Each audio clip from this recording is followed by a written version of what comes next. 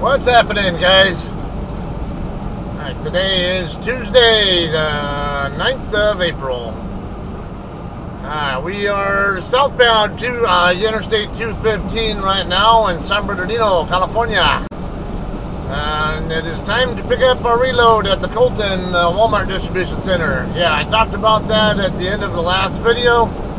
So you guys probably already have an awareness of that. So I'll assume, and you guys know how much I'm there. So I would say more than likely, if you're watching this at all past a couple minutes in, you're probably more interested in the story time. So, um, all right, yeah, we'll get to that in a second, though. All right, so you guys to recap, we picked, uh, we delivered uh, last night in Ontario at Ventura Foods. And I went home and did a 10 hour break, and now we're coming back over here to Colton to pick up a reload. Uh, talk about talk later on in the video where this one's going. Uh, all right, we're getting on westbound Interstate 10 right now, by the way. And uh, now I am starting this video a little bit later than normal. Yeah, because that it's going to be kind of shorter story time, uh, hopefully, and then I tend to have more time spent, uh, more video time actually in Walmart's facility than I do at most customers too. So, trying to consider that too. Anyway, um, so here's what we talking about today, right? Uh, just you know, this is a, there was an incident that happened in late February. I remember hearing about it, but I didn't know the details on it really much. Uh, I just know some woman crashed in late February, and they didn't find her. Um, yeah, she ended up dying, and they didn't find her body until a month later, at the end of March. So, uh, did she die from her injuries, or did she die from exposure? I don't know. Um, that's what I'm kind of curious about. But anyway, the incident happened. Uh, well, it was believed to be somewhere in the area of Blythe. California, which is right by the California and, uh, California and Arizona border along Interstate 10. Um, so I think the incident was on February 27th, and the woman called 911 herself. You know, the driver of the car called 911 herself to report the accident, and um, said she fell asleep behind the wheel and, you know, um, well, anyway, the, she, she didn't know where she was at, so the dispatcher basically gave her instructions on how to go on Google Maps and uh, locate her lat long coordinates. So I guess she does that and then gives the dispatcher information. Uh, but, you know, then they sent a, a, a Blythe CHP uh, unit over there, couldn't find her, so I opened up a wider search. Uh, they also got the Winter Haven CHP office, which is right on the California on on the on the other side of the river from Yuma, Arizona, uh, real close to the Mexican border. Also, um, they were looking for her too. They couldn't find her. I guess they spent like five hours trying to find her and couldn't. So I beg the question: Well, how do you? I mean, if she had a crash and she told you her lat long coordinates, how do you not know where she's at? And uh, yeah, uh, yeah, that was a good question. Uh, let me get this, uh, we'll get through this red light here. Alright, um, so, anyway, yeah, they did a ground search first, and then they, which one was it? I think uh, Border, Border Division, which is, okay, so Border uh, Division and CHP actually oversees um, several different uh, actual substations, so like Blythe and uh, Winter Haven will both be like border division. Um, I'm not sure what other ones are over there. So like I say Barstow. Yeah, Barstow is a CHP division. Barstow is a division as well as a substation. So they'll have like Barstow, Victorville, Morongo Basin, or Morongo Valley, whatever you call that station. Um, who else? Can't remember if there are any other stations in that same division, but yeah, they oversee multiple stations. Well, anyway, yeah, they dispatched an aircraft to look for her. Couldn't find her. So, you know, and then they end up calling off the search because they just can't find her. About a month later, none other than a YouTube true crime sleuth ends up, uh, I guess, uh, theorizing that maybe the the correct info was there all along, but maybe there was an issue with um, with a dispatcher writing down the lat long coordinates in decimal form instead of um, hours, minutes, seconds. I had no idea this uh, it could even be uh, this big an issue there, but apparently it is. Um, because ultimately, I guess the, the decimal coordinates ended up putting them on, uh, putting her like on uh, Highway 95, right by the California border. But I guess their actual position, or well, maybe, uh, or I'm, I'm kind of confused on that. Maybe they searched the mountainous area, and, or yeah, make this turn real quick. Alright, anyway, I, I was kind of mixed up on what was what. Uh, I guess the lat long coordinates, maybe they'd gone to this kind of remote mountainous area that doesn't even have roads. And, uh, yeah, and then I guess this guy, this YouTube true, true crimer, found, uh, you know, figured out, uh, you know, from, uh, he made a suspicion that, uh, you know, based on that information there, with uh, possibly a little fatal flaw by the dispatcher, I guess. Um, and I guess he did some some kind of conversion, whatever. And they ended up searching another uh, the other location that the YouTuber suggested, and ended up finding her dead. And her, her body was like 16 miles away from where they originally were looking. So yeah, they and. Uh, yeah, it seemed like she was around uh, US 95, I think, or Arizona 95. I'm not really sure, but it sounded like it was on the Arizona side. Um, yeah, this might come in handy for you guys too. Like I said, I've I talk about this a lot uh, before. Um, like when I, whenever I would train people, I'd always make sure they know, always know where you're at. Even something simple as uh, you know, like my truck only has a trip meter and a leg meter. So what I'll usually do is the leg meter, I'll synchronize the leg meter to a milepost. So like to say mile marker zero, if I'm heading eastbound, then uh, the, the, the leg meter should always correspond with what mile marker I'm at. Uh, now there are there there is a calibration error issue there though, where over time it will kind of deviate by um, half a mile, a mile off, whatever, over a course of 50, 100 miles, or whatever it is, but, and it varies from vehicle to vehicle. Even with the same vehicle, you can have, uh, you know, yeah, like brand new tires, you might end up having more uh, accurate results, and then as the tires wear, uh, the vehicle will think it's traveling a further distance than it actually is. So, um, yeah, and I've had to report incidents before, and sometimes they do happen in places you're not familiar with, and even more so when it's dark, and sometimes mileposts are missing or other stuff like that. And then, like, well, how do you, if you have a crash or you witness something, how the hell are you going to tell a dispatcher where to find you? Where to send the units to if you have no idea? Now, CHP, um, they have a capability to geolocate where the phone is actually making the call from. But even then, if it's using um, if, it's, if it's using um, cell towers, because what will usually happen is it'll your your your phone might ping like a few different towers, and they'll know that you're in a certain area. It's kind of like a Venn diagram kind of thing there, and you know, or if I, okay, if you're picking up, if you're connecting if your phone's communicating with this tower here, then you're within a certain range of it. Another one is a certain range, another one's a certain range, and wherever they intersect is roughly where they uh, where they can assume you, you're probably at. Um, but then uh, you know the the more the greater the intersection point is, the the larger the area is that you can possibly be in. So that's something to consider there. Um, even if they do geolocate, it's I don't know, it's, it's not necessarily by satellite. Um, you know, and uh, they, they could give you, it could uh, tell them uh, only just kind of the general ballpark where you're at, but not still not be accurate enough.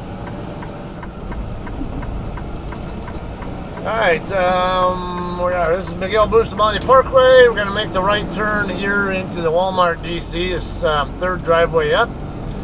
Uh, my pickup, my load doesn't pick up until 1600. However, uh, I got a, I got a message from dispatch earlier saying it's already ready for pickup. Uh, like around 11 o'clock this morning, I got the got the message saying it was ready. So decided to leave as soon as my 10-hour break was up and get over here. Alright, so as a reminder, use both of these lanes. Did you see the C.R. England bobtailor there It went on the other side? This is all one way right here.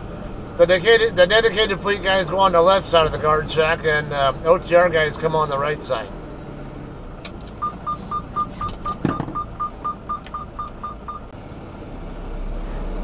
Alright guys, we checked in. Now it's time to go drop our empty. Um, Alright, we're going to drop it in rows E or F. That's uh, the row where the, the on-site scale is at. Uh, I'm to prefer F because I have a load lock still in the back that I want that I need to retrieve. And row E, well, where the scale indicator is at, um, it, it kind of has an embankment that goes down from where the back of the trailer is at, so I won't be able to get in the, probably won't be able to get into the trailer if I use that side. So hopefully, hopefully we'll find one, uh, a spot in row F. Alright, looks like we got a, a contractor pulling a JCT over here. Marlow Trucking. I don't know that I've seen that guy before. Now we have a number of contractors who pull our trailers. Uh, some of them are regulars. Uh, yeah, I see them all the time. But uh, that one, I, I don't really. Yeah, I don't know that I've seen him. I might have. Just not super familiar to me. All right, there's another JCT driver up there. Okay, right over here. Yeah, there's an opening right over here. Yeah actually a few different spots so um, let me see if I can get in over here before um, before Covenant gets over here to scale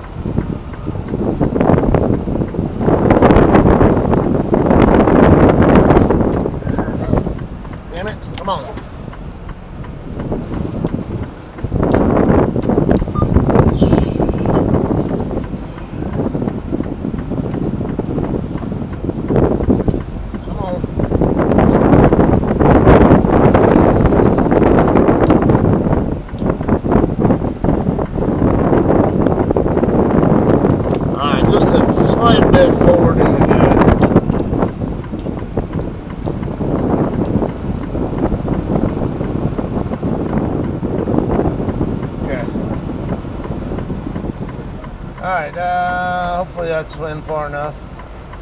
As long as I can get inside to get my load lock, where I'll be happy.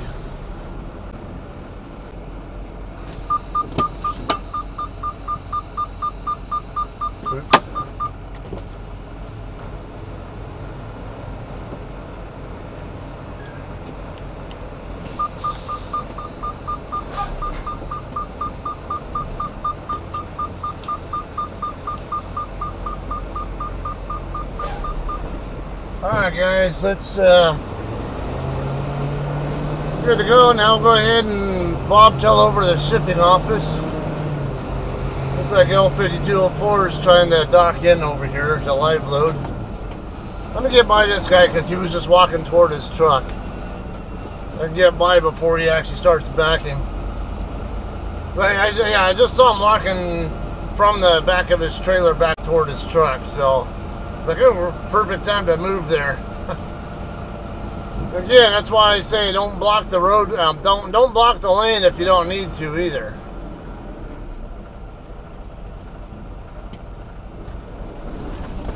All right, no other vehicles coming.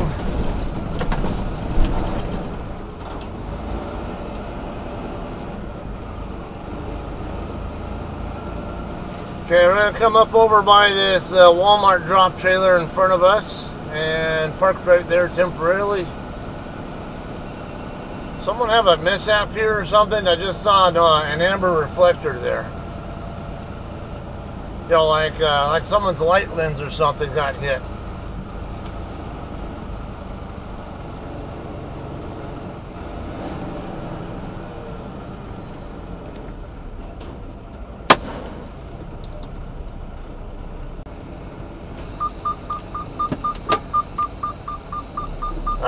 Guys, go find our empty, our loaded trailer now.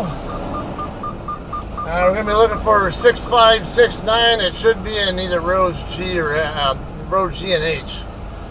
Probably an H.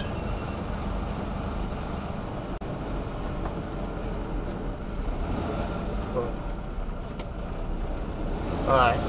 Yeah, nobody coming. I was to let the shag driver go by, but he waved me on by.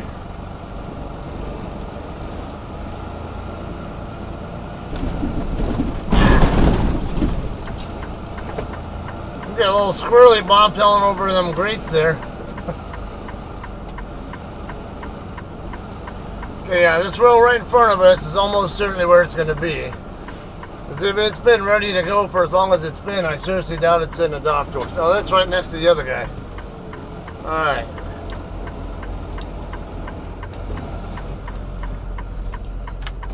That guy looked like he's uh, maybe waiting for a dock door or something.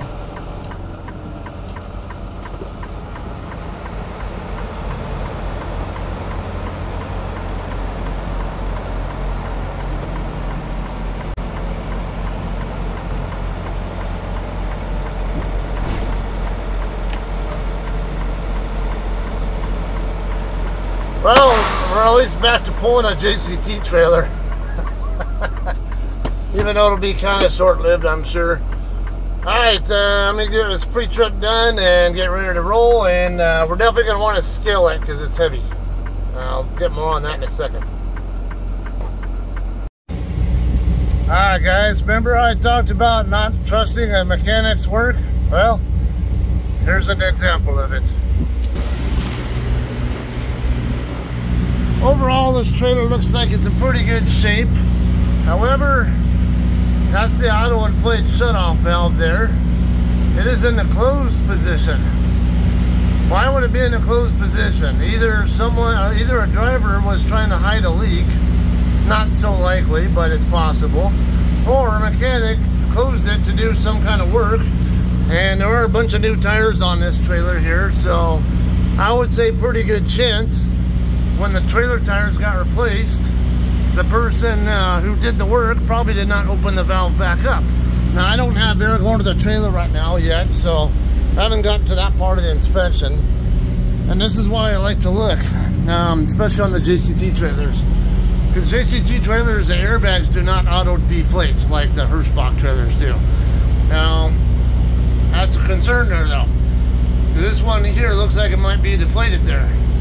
So if um, if we don't have auto deflating airbags here, and that one looks deflated, that one looks like it might be a little deflated too. It's hard to tell, but the bottom of the bottom of it kind of gives a clue. Um, I would say there's a pretty good chance there's a leak somewhere. Um, that or it's, it's, either venting out from another system that's um, basically causing the air and the airbags to backfeed into whatever it is that's leaking, or there's a leaky bag. So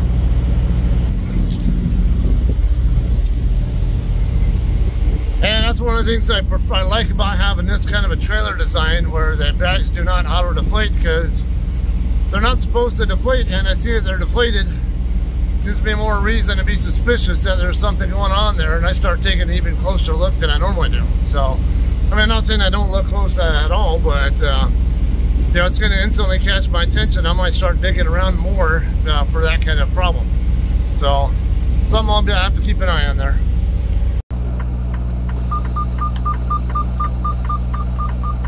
Alright guys, we're done pre-tripping. Now we'll go ahead and uh, go scale our load. Because it is a 41,000 pound load. And I know for certain uh, Cajon Pass way station is open. Or at least it was when I passed through I passed by there on the way down here. So, well, I guess that guy wanted to back his trailer into the spot that I was pulling out of. But there are other spots open here. Why not just drop it in another spot. You're not supposed to be dropping your empty in that area anyway. Unless you're sitting there to wait for a dock door. Delta 4470. That sounds vaguely familiar. Okay, now I can hear air still coming through. Uh, and it does concern me a little bit for the scaling because if I don't have my airbags totally inflated, um, there's a possibility I'm going to get um, inaccurate scale readings. And, and in general, also, when you're scaling at a shipper, general rule of thumb is don't trust the scale. Assume that it's probably wrong, but I know from experience coming to this place many, many, many, many times that their scale is almost always uh, really, really close to what it's supposed to be. So I know I can uh, pretty well trust this one. Yeah, see, I still hear air coming through.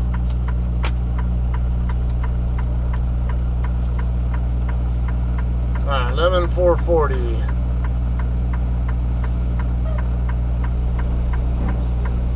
Okay, so we're looking for no more than 45 440 with the drives on there.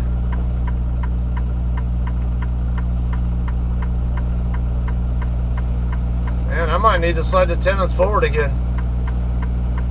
Yeah, that's actually a little heavy on the front end there. 45, 780. That's about 340 pounds overweight. So, and I did actually slide the tandems uh, to the California hole. Whoever dropped it had it all the way forward, which I'm not a fan of doing. Okay. Let's go ahead and 77 640.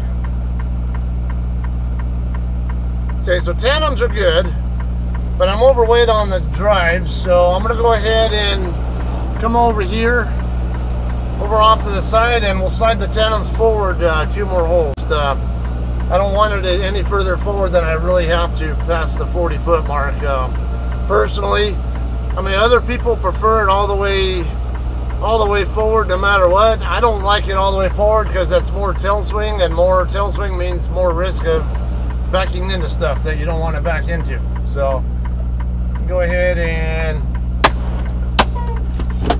fix that up. I always wonder how many people uh, see my... Why am I still rolling? Oh, that's um, rolling the wrong way, that's why. That's kind of stupid me there.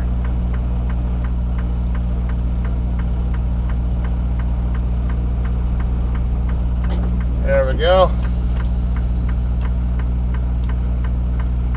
Yeah, anyway, I was trying to say, I wonder how time, uh, when I start moving my truck sometimes and my side box door is still open, how many people think I'm just being an idiot?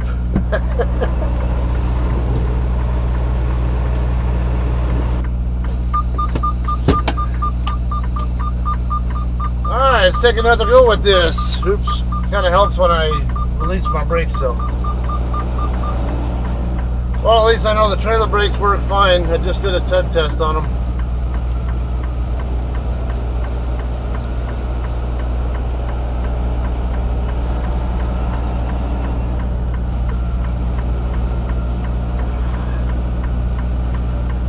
Bet you this guy's to drop his trailer in row E because he just came in from the guard shack.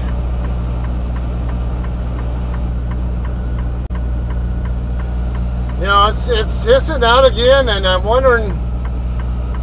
I got. Well, I'm gonna check it out when I get to the guard shack, or after I, you know, when I'm sending my departure info after I get out of here.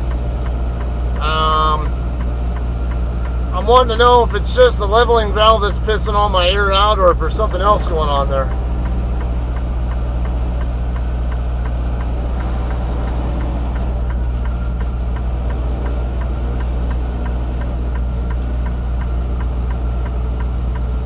Guy's definitely setting up to back. I'm gonna need time to get my. Uh, I want to give uh, time to get my airbags aired up anyway.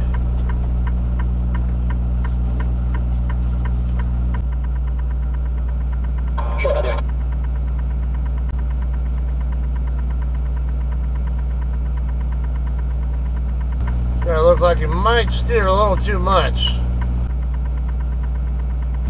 Best I can tell, I don't think the trailer needs to rotate that rapidly. It's, I mean, it does need to rotate, but I think it's rotating a little too fast, and uh, his putting way too much steering in for too long on that first part. Yeah, see what I mean? You had to pull forward to correct it.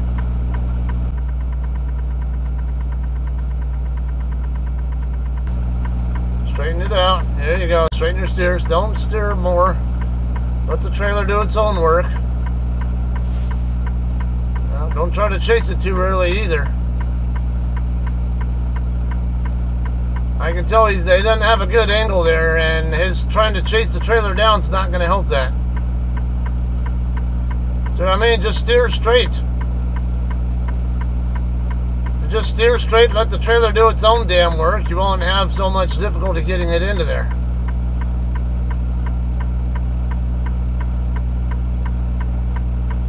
What's this guy doing now?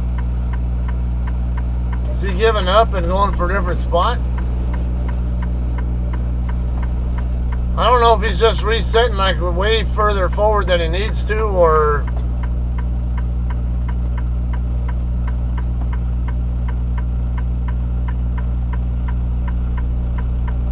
I can't see his backup lights, so if he starts to back up, if he's getting rid of the back, I won't know.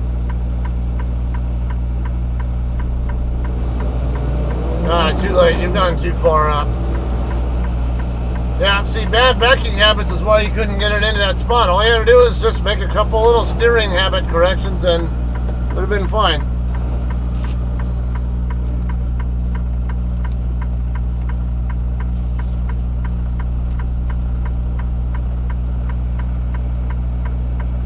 Alright, 11,460, only 20 pounds different from what we were before. So it should be right below 34,000 on the 10 on the drives now. Yeah, we're definitely good there. 44,980. That's about 33.5 now, so definitely made a difference.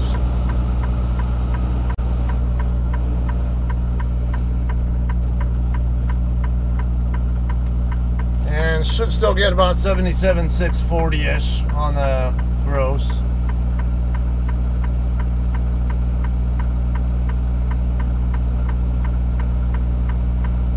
Yeah, still 77 640. Okay, that's just under 33,000 on the tandem, so all right, we are good to go now. We have a totally legal load. No problems with uh, over length or overweight. So let's get out of here.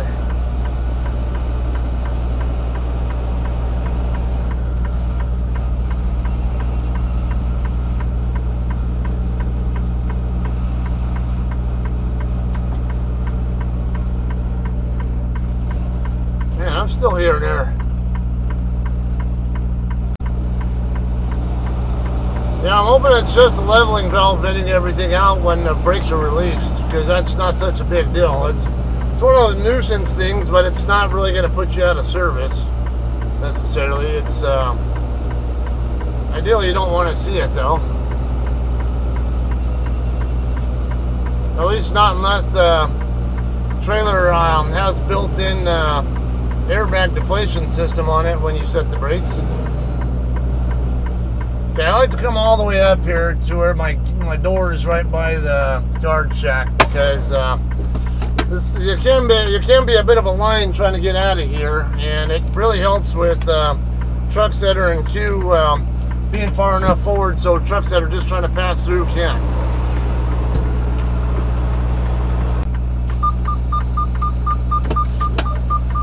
All right, guys, let's uh, go ahead and head up here and uh,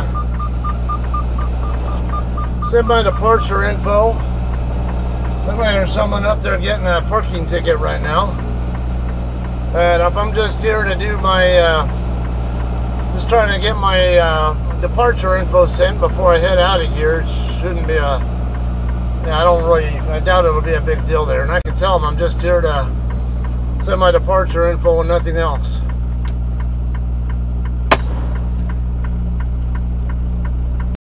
Alright guys, so I did mention there I had reason to be suspicious that there was something else wrong here.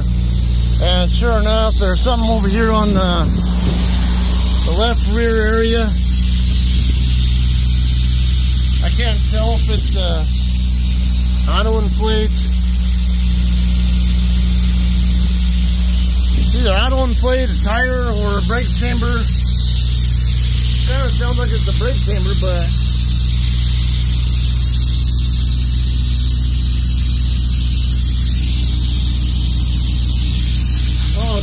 right here. What's that supposed to be hooked up to?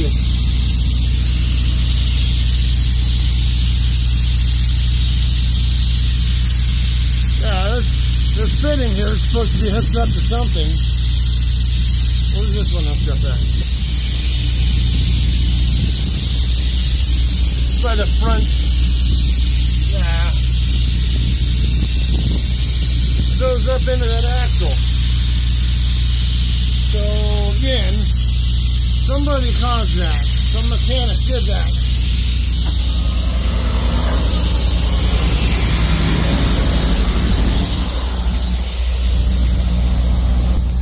So what I say about don't trust the damn mechanics work. I don't care how good they are, they can miss stuff like that. I'm gonna have to get that one looked at now. And I'm gonna have to go through the Cajon Pass way station to get over there. So my options are either go over to Ontario instead to get it fixed, which is out of route, which I don't want to do, or go ahead and uh, head up there to my house and then maybe stop in Barstow or something along the way and uh, get that thing fixed. Um, it makes a big difference when you go into a way station if they catch it and you tell them, oh yeah, I'm aware of it. I can tell you exactly what it is. It's the fitting that goes up into that left rear axle.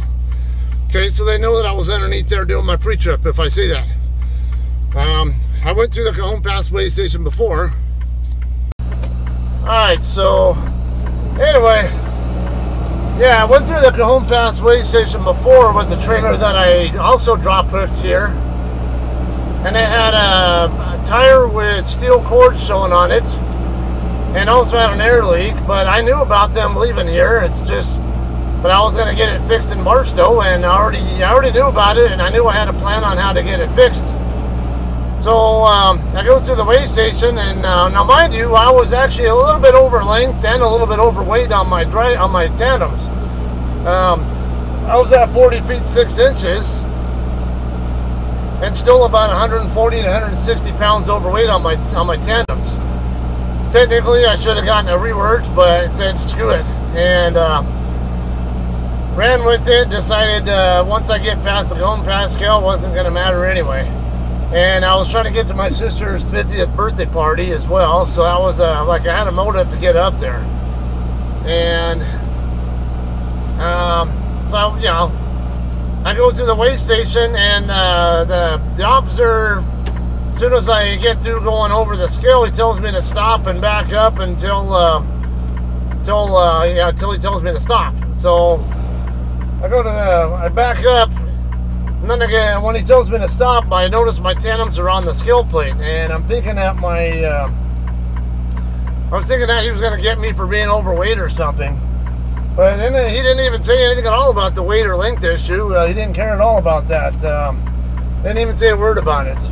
Uh, what he had a problem with was the tire that I already knew about. So when I, uh, you know, because he, first, you know, there's an inspection lane right next to the scale. He told me to go ahead and slide all over and then back into it, and uh, he'd meet me over there. So um, I do that. And he comes out and takes a quick look. And then he comes up to my door and says hey yeah the reason I pulled you over here to the side is because you have a tire that's uh, it's still uh, it's still cord showing. And I go yeah it was the left uh, left rear inner right or left rear outer, or whatever it was. These guys are idiots here. They can't handle uh, wait for. See, three of them passing illegally right there. Fucking morons, impatient, and then they'll make illegal U-turns up here on uh, Rancho Avenue to try to to beat the uh, the red light. Anyway, yeah. So the fact I knew exactly which tire he was talking about told him right then and there that um, I had to have definitely done my pre-trip to know which tire he was talking about at all. And, you know, yeah, he did ding me for a violation for, uh, um, you know, for the for the tire problem, but you know, he could have put me out of service. But he told me, uh, yeah, because I already told him, uh, yeah, it's the left rear, whatever, and uh, or left, whatever was on the left side. Uh, I think it was a left rear outer or inner. And I told him I was going to stop in Barstow to get it fixed because I just I just hooked it loaded right here in Colton. So, um, yeah. So he ended up, yeah, he would have just let me go. He told me just uh, go ahead and take it to Barstow, but don't go any further. And I all right, that's cool. And I think it also helped that it had Ventron on my CDL too. So that does tend to help. Yeah, it really helps more though, knowing that. Uh, hey, I, I know exactly what you found there before you even tell me what exactly it was. So, not a problem there. It's, um, you know, it's still their discretion. They can still put you out of service until it gets fixed, but uh, we'll see how it goes. Um, either way, yeah, that's definitely going to need to get fixed uh, ASAP. So, yeah, I'll stop in Barstow on the way out of town and uh, get it worked, uh, get it looked at there. Anyway, where are we going next? This one is going to the Walmart DC in Tomah, Wisconsin. Uh, I don't go there a hell of a lot. I've been there a few times, but not a lot. Um, uh, Tomah is actually went right through Tomah, kind of on the way to um, my customer in uh, Rochester, Minnesota, the other day. Uh, Tomah is right where I-90 and I-39 meet up. Or no, I yeah, yeah, it's I ninety and I thirty nine, something like that. I think that's what it is. So that's uh, that's where it's going to. A um, couple of route options because I can't use I seventy between the Utah line and Denver. So the one one option would be to take I fifteen straight up to Salt Lake City and then uh, across Interstate eighty from there out to um, uh, some different options there. Uh, typically I go out to Des Moines, Iowa, and then I'll take I-35 up to Albert Lea, Minnesota, which is where I picked up that last load from, and then I-90 across from there. Um, the other option, which is actually what my fuel solution is set up for, is to take I-40 across from Barstow, and you know, some different options there too. One might be I uh, US 54 across from Tucumcari to Wichita, Kansas or uh, or you know work your way up to uh, Emporia, Kansas, and get on I-35 either in either of those cities. Then to take 35 up to Albert Lea. So I haven't decided yet which route, which of those two routes I'm going to take yet. Um, I do need to do weather planning. I figure I'll do that when I'm at the house because no matter what, I'm going to be, I'm going to stop by the house regardless. So, all right, that's all I got. Um, so that's what's going on here. Uh, I don't know what I'll be posting. Uh, I'll, I don't know what I'll be vlogging uh, uh, Tomah delivery. Okay, so I can't even guarantee I'll make it all the way there myself because I am running on recaps. Uh, there is a possibility they could have a concern about that. Uh, just depends on what time the delivery gets scheduled for. It's due on I think the 13th of April. So that's what's up next. Uh, you'll either see a vlog from uh, either Tomah or wherever I pick up from after Tomah, which pretty good chance will be Belvidere, Illinois. Alright, so, so uh, y'all have a great day. Thanks for watching, and we'll see you guys next time.